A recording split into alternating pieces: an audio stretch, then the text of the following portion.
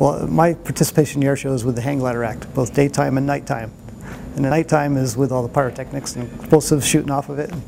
And uh, this is my fourth or fifth time at this show. I pursued air shows when I learned about them and had an opportunity to fly in one. And then I uh, worked hard for many years to establish a business where I could travel the country, travel the world, performing at air shows.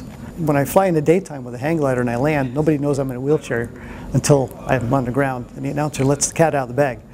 And then when I get in the wheelchair, I just go right to the crowd line and, and give kids things all for the next hour or so down the crowd line.